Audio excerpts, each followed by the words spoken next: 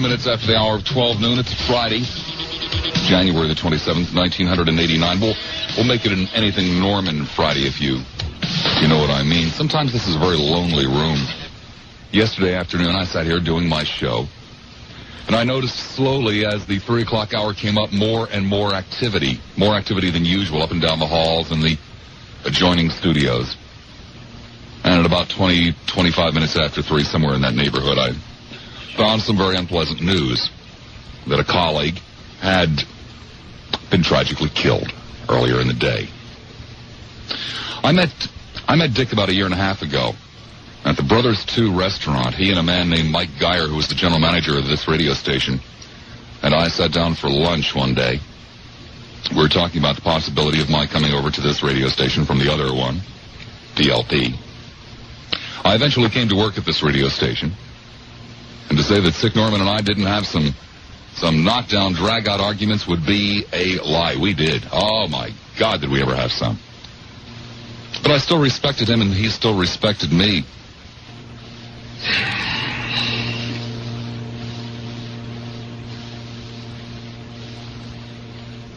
I'm going to do something this afternoon that probably every other time I've heard people ask to do this, I've, I've kind of scrunched up my nose and said, oh, jeez. We're going to ask you to turn on your headlights between 3 and 6, okay? And there's something else I would ask you to do. We have decided to put together some type of scholarship fund in Dick Norman's memory. We sat around last night at an old-fashioned Irish wake and said, well, maybe we could maybe we could contribute some money to Dick Norman's favorite charity. Uh, do, do you know what Dick Norman's favorite charity was? Uh, well, how about you down there? And then we decided that Dick Norman didn't have any favorite charity. We decided that no matter what charity we could possibly come up with, Dick Norman would have found something wrong with him. Would have found some reason not to give money to it. Just because that's kind of rascal he was. But we decided there was one thing that Dick Norman would not have been offended to have his name connected with. And that is a scholarship in his memory. One other thing I wanted to say, you had a caller yesterday that was talking about the flea market promotion, and Dick was on the air.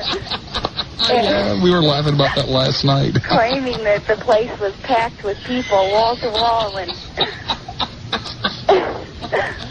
you know, I went down there in that day to find a, a, a cat condo for my cat, and uh, Dick was, was about one of among three people. The other three were uh, workers there, and when I saw him, I asked him if I could give him a kiss because I just wanted to squeeze his little face in my hand. Well, you see, almost anybody else who had pulled this this horrible, despicable stunt of lying to you about who who was down there at the flea market would have been a scoundrel, an out and out charlatan.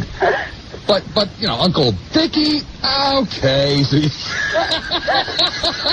you know, all right, so he got me. He well, got me, the scoundrel. and you know what was funny?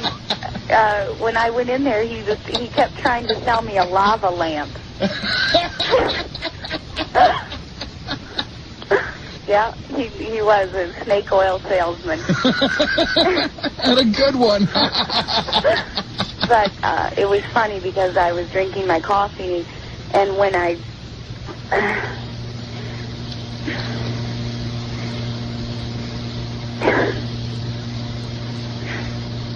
sorry. Oh, there's nothing to be sorry about. But when I heard that, I remembered the the smell of his skin when I bent down and kissed his cheek at the flea market. And I could smell his beard, and it was uh, smoky, and um, it was very sad. But uh, my heart goes out to his family. I want to tell you, uh, that my first, I'd never met Dick in person, but I talked to him off the phone about uh, over a year and a half ago. Uh, at that time, there was a talk show host on that I just couldn't stand. And the more I listened to him, the madder I got. And every day, finally, I said, I'm going to put an end to this. I've never called the station before, but I'll do it. So I called the station, and the girl said, you'll have to talk to our program director, Mr. Norman. So they tased him. He picked up the phone. He said, yes, can I help you? I'm Dick Norman. And I said, yes, Mr. Norman, um, very rarely would I call to complain about a talk show host, but this particular talk show host that you've got on is the is the worst talk show host I've ever heard, and I just went on and on and on for about ten minutes, and and just a, a hush came over the phone, and his reply was, "God, I love talk like that," and it just I thought. I thought, well, now, now. I thought, now what do I say to the guy? I'm just stop. But Well, you know, the, you know the, the sad fact of the matter is he told you the truth. I know. Comes a time when you have to say goodbye.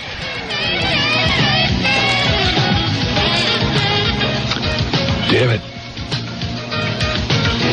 Thanks for getting me the job, Dick.